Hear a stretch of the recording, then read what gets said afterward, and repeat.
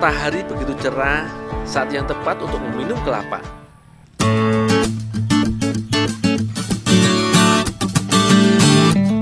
Ternyata kelapa yang ada di pohon masih terlalu muda.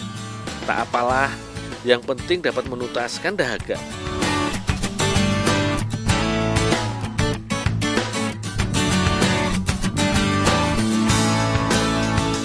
Aku baru ingat, dulu aku pernah membuat batok kelapa muda ini menjadi sebuah olahan makanan saat berada di Lombok.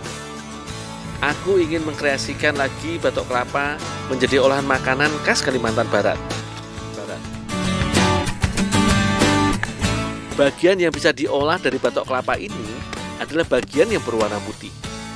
Ternyata tidak hanya di Lombok, di wilayah Kalimantan Tengah, yaitu di Kota Waringin Barat, juga terdapat masakan yang dibuat dari batok kelapa yang bernama ganglan kalok. Batok kelapa yang masih sangat muda ini teksturnya masih empuk sehingga masih bisa dimakan.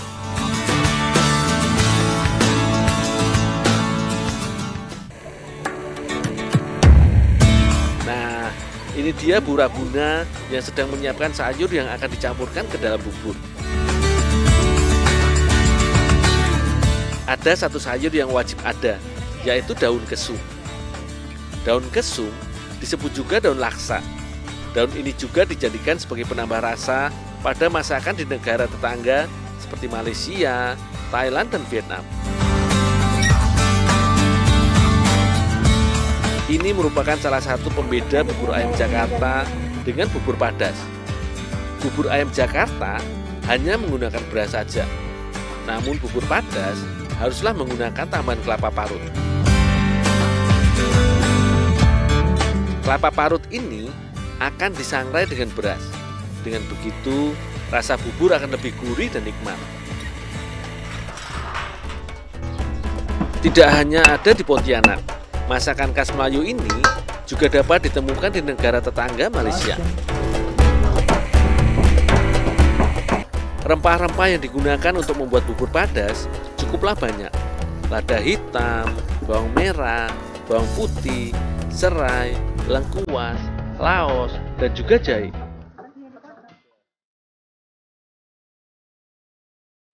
Semua bahan ini dihaluskan dan tidak ketinggalan ebi, garam dihaluskan bersama bumbu lainnya.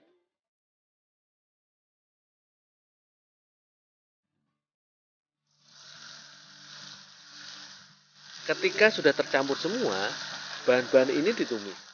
Daun kesum dan daun kunyit pun dimasukkan. Wangi daun kesum yang khas mulai tercium. Wanginya sepintas mirip dengan lada. Daun ini juga menciptakan rasa sedikit pedas seperti mint. Daun ini dapat mengatasi masalah pencernaan. Biasanya, ibu yang baru melahirkan juga mengkonsumsi daun kesum agar badan lebih wangi. Sayang rasanya kalau air kelapa dibuang begitu saja. Burabuna memisahkan air kelapa yang nantinya akan dijadikan pengganti air dalam pembuatan bubur padas. Nah, Nindul udah selesai Nindul. Ah, ini rebus air kelapanya nih. Setelah itu masukkan beras yang tadi ditumbuk ya. Oh ya bu. Ah, oke ya.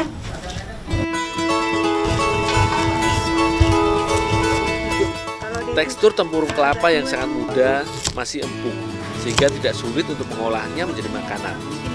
Walau begitu, agar mudah dimakan, Burabuna merajangnya kecil-kecil.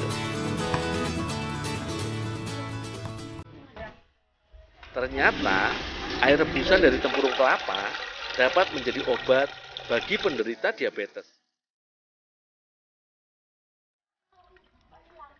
Sedangkan tempurung kelapa yang sudah jadi arang dapat dijadikan sebagai obat diare ataupun keracunan. Air kelapa dimasak hingga matang terlebih dahulu.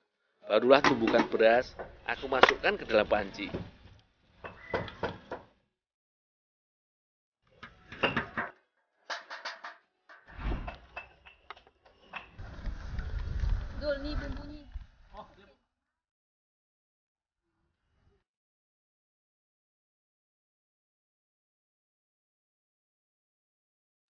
Setelah mendidih dan mengembang, saatnya memasukkan beragam sayuran. Ya. Oh, ya bu. Bahan-bahan yang teksturnya keras seperti potongan batok kelapa dan juga kacang tanah dimasukkan lebih dahulu. Baru disusul dengan sayur-sayur lainnya.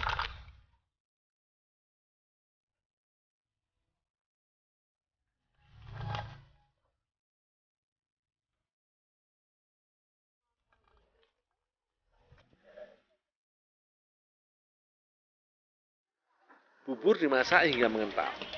Wangi daun kesum yang khas sudah mulai tercium. Rupanya, benar kata orang-orang, wangi daun kesum membuat siapa saja yang menciumnya jadi lapar.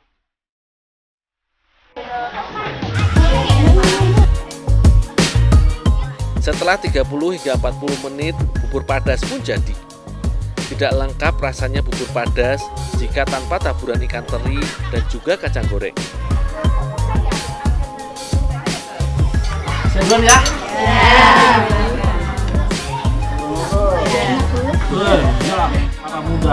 Bubur pedas.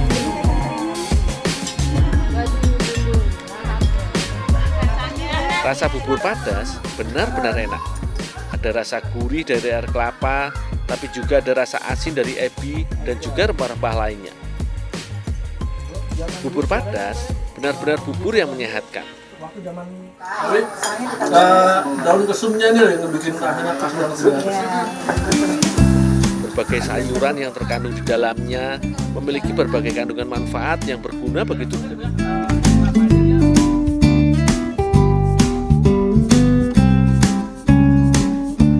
Makanan ini cocok sekali bagi anak-anak yang susah makan sayur karena rasa sayur dalam bubur ini tidak terlalu mendominasi.